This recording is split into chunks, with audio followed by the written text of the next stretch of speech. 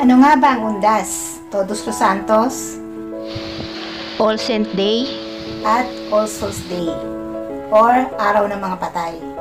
So ito po ang bibigyang linaw natin sa video ito. So keep on watching!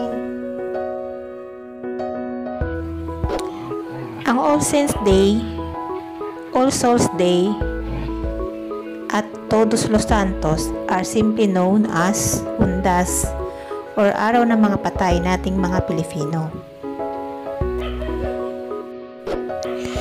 Ang Halloween or Araw ng Pangangaluluwa ay ipinagdiriwang tuwing katapusan ng Oktubre. Sinusundan ito ng All Saints Day or Undas tuwing November 1 at kasunod nito ang All Souls Day tuwing November 2 naman. Sinasabing ang All Saint Day ay araw ng paggunita sa mga Kristiyanong namatay na nakarating na sa langit, Kristiyano man or hindi. Samantalang ang All Souls Day, ang mga namayapa ay nasa purgatorio pa at kailangan pang ipanalangin para makarating sa langit.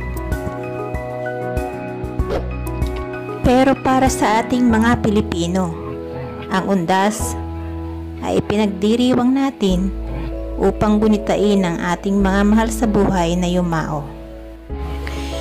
Sa panahon ding ito, nagkakasama-sama ang mga magkakapamilya na di nagkita ng matagal na panahon.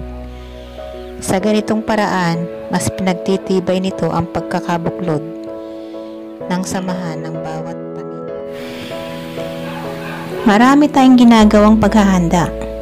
Pagtitirik ng kandila, pag-aali ng mga bulaklak, pag-aali ng panalangin, at pag-aalay ng mga pagkain o atang.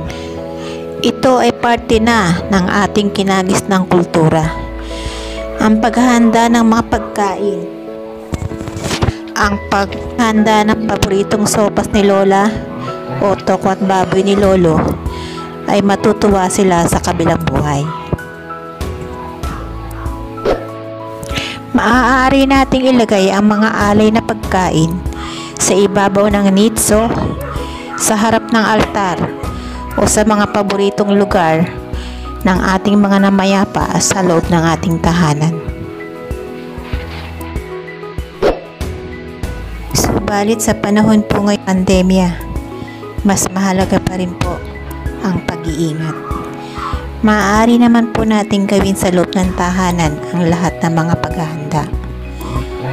Ang pagtitirik ng kandila, pag-aalay, at sama-samang panalangin para sa kanila. Mananatili sila sa ating mga puso at isip habang tayo'y nabubuhay. Mahalaga pa rin po sa ngayon ang kaligtasan ng ating buong pamilya. Maraming salamat po and God bless us.